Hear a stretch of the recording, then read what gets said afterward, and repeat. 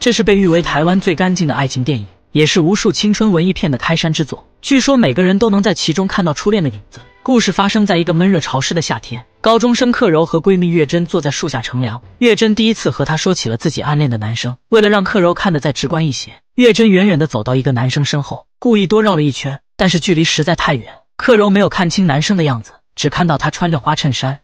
你神经病啊！到那跑一圈干嘛？你不是想知道我老公是谁吗？是谁啊？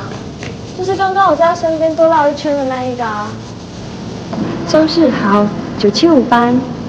为了看一下朋友喜欢的人到底是谁，克柔放学时故意跟着张世豪骑到他身旁望了一眼。然而，正是这一眼，却成了一个美丽误会的开始。这天晚上，月珍拉着克柔去学校泳池，偷偷看张世豪游泳。月光下，少女的喜欢羞涩而纯粹，如同水波般涌动。月珍想要认识张世豪，却没有勇气，便怂恿克柔帮自己问联系方式。克柔无奈的来到泳池旁，告诉张世豪自己有朋友想要认识他。然而，还不等张世豪回答，学校的教官就拿着电筒前来巡逻。克柔见状，赶紧和张世豪躲在了角落。等到教官走后，张世豪追问是谁想要认识自己。克柔呼唤着月珍的名字，却不想他因为太过害怕自己跑掉了。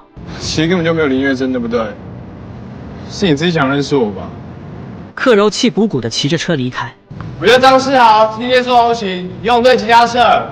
张世豪一脸笑意，怀疑就是克柔喜欢自己。这份怀疑在不久以后变得确定无比。月珍依旧痴迷着张世豪，甚至偷偷收集着关于他的一切。他穿坏了的球鞋、落下的游泳眼镜，甚至喝光了的矿泉水瓶，全都被月珍视若珍宝的收集起来。那天，月珍抱着头戴张世豪面具的克柔，想象着那个无法靠近的怀抱很久很久，终于下决心写一封情书。然而，因为胆怯，署名时他写下了克柔的名字。不知情的克柔帮他把信转交给了张世豪，隔天却被调皮的男生贴到了学校的大厅。张世豪和孟克柔也遭到了教官的严厉训斥。孟克柔有点生气，而张世豪却在那里傻笑。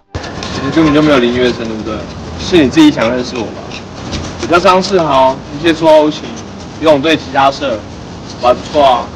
克柔没有理会他的话，而是生气的回到教室质问月珍为什么要用自己的名字写信。月珍愧疚的不敢说话，两个人就这样开始了冷战。另一边的张世豪则开始了对克柔的追求。他总是骑车跟在克柔的身后，总是光顾他家的水饺店。虽然克柔总是一副凶巴巴的样子，可在他的眼中却有种说不出的可爱。